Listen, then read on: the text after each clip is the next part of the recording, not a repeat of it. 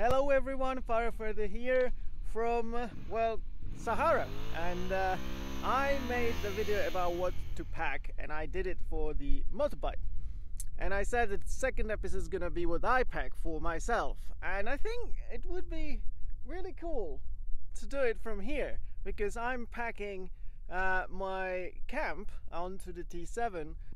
I'm gonna go through the bike uh, where things are and then I move to the uh, tent where I can talk about some of the items. I'm not gonna talk about everything because that would be pointless. In terms of luggage, it's pretty straightforward. At the front, I have the Mosko Moto Nomad, uh, not Nomax, the old version. Uh, and in here, I have the Turkana Hippo Hips. Absolutely wonderful kit so far. Really, really cool stuff. And uh, in the back, I have uh, Tracker 10 from Mosko Moto and how it how it's packed is here goes my tent and a sleeping bag. So first sleeping bag then a tent. So I can take the tent first. Um, and in one bag goes all my clothes. And on other side it goes all my camping gear cooking and everything. So that's the main pockets.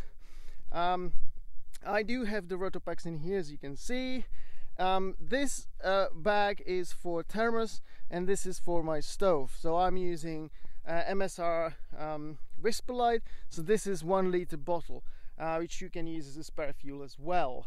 Um, I do have a saw in here for trees, mainly in Albania.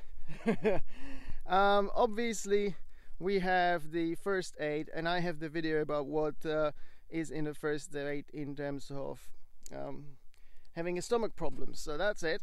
And that goes all in here. Together with, there's the WhisperLite in there, and there is a um, compressor. So that's in terms of luggage, very straightforward uh, piece of kit. Uh, so far, it works brilliantly. Um, here in this pocket is all the bike stuff. Oh, I have the bungee cords, very important bungee cords. What I have also here is um, two sockets. So one sockets for charging phones and everything. I do have the LSADV mount which works brilliantly so far. Uh, people asking what's this one for. So this one is for actually using it for the brake to wrap it around the brake when you need to pick up the bike. Uh, another thing is because my drone mount has been stolen. I'm using this as a drone mount together with the Mosko Moto Nomax. So Nomad. Uh, so that works rather well. Um, so yeah, I think that is in terms of where things are on the bike. And in here, I want to talk about a few things. So um, tarp, definitely really really useful to have a tarp. My tent is Big Agnes Copper Spur for two people uh, using it for one. It works brilliantly so far. Now it doesn't have obviously the rain cover on it. It works really well and I like it. It has this pocket in here for example. It has uh, pockets in there. And what you can see it's really kind of it's a box effectively how it's constructed which makes it very very spacious. Now the only thing I don't like about it is that these uh, poles, tent poles, are pre-bent. So every single piece almost is unique. And if I break one, uh, I'm gonna be in a deep, deep, deep shit. So that is one of the biggest disadvantages of this tent. But MSR is exactly the same. Now, if I would have a rain cover on, you would see that the both exits have this kind of a apsida or how I would say it. And you can use the bungee cords to make a little bit of a shelter for from sun and from everything. I'm not gonna go into my riding gear here because there's not too much of interesting things.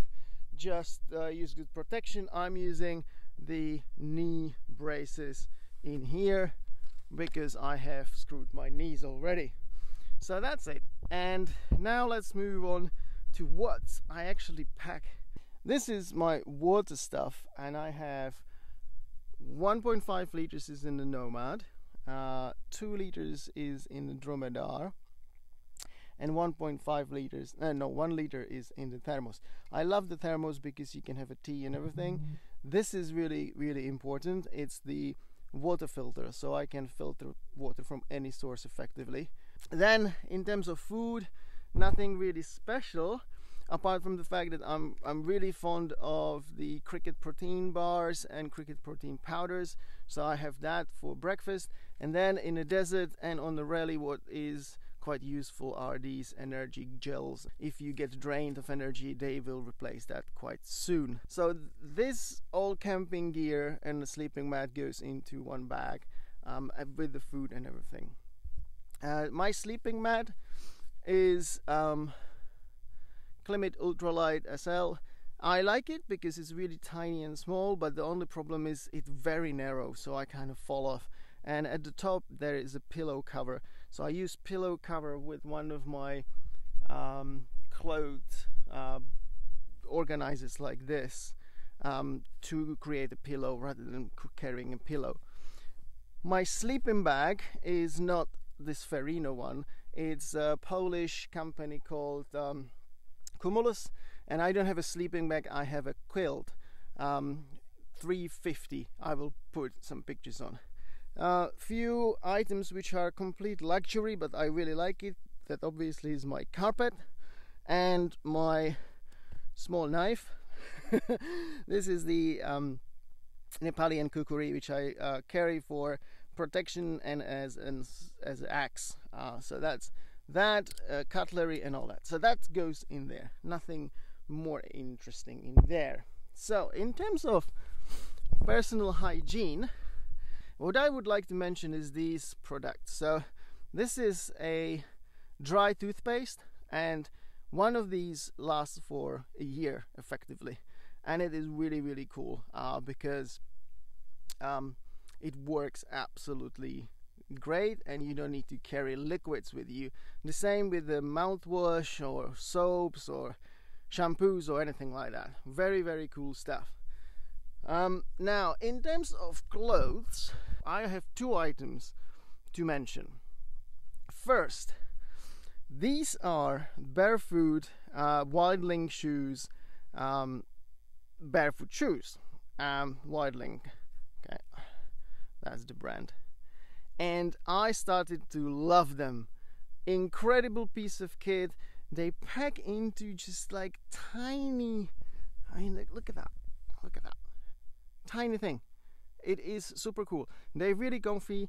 They are really light and I really really like them. So that's it. And another piece of kit which I have is Rab um, Cirrus Flex, I think is the jacket and this is cool because I'm using this instead of the uh, Revit liner the hot warm liner which goes into the jacket I use this instead and I use that everywhere. And in the desert it was really good because it's quite cold actually.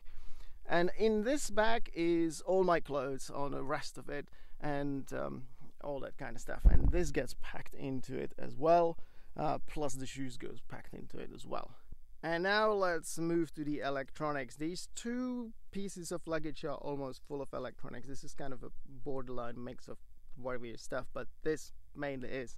And this gets all packed into a Moto duffel backcountry 30. And I love the bag for um, versatility. It's heavy, but it's okay. Uh, and what I did is I used this IKEA organizer to organize all my electronics so it doesn't go in all different directions and places. So what we have here is the drone and the remote. Don't ask me how I get it in here. Um, there's microphones in here, so I have microphones and other stuff. Uh, rarely using this. I thought I'm gonna be using it more. This is just uh, some random crap. Um, here, flask, which is unfortunately empty now, which is really sad. Um, I do use um, sometimes all my secondary papers in here. And I use that on uh, cash, and I have them on my neck, so that is good. Don't need it here. Notebook, also using it very rarely. Uh, Kindle, another thing which is cool to have, and a lot of people love it. I have not been using it now. Um, another electronics box. This is probably the main box.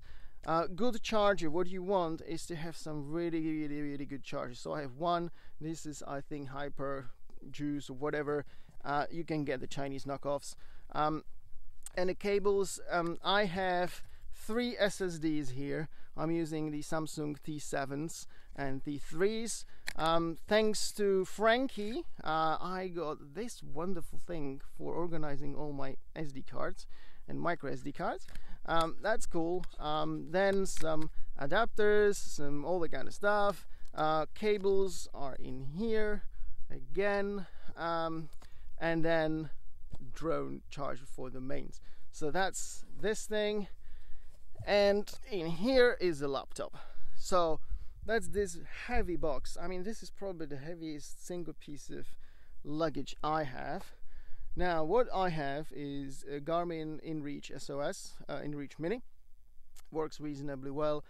I'm not using it that much. I paid it for this month for the Sahara, but otherwise I'm not really having it. So that's it. Um, flashlights. I'm using this, um, what is it, Olight Air S2. Now, I had the version before and I liked it more. This one, the gesture controls pisses me off.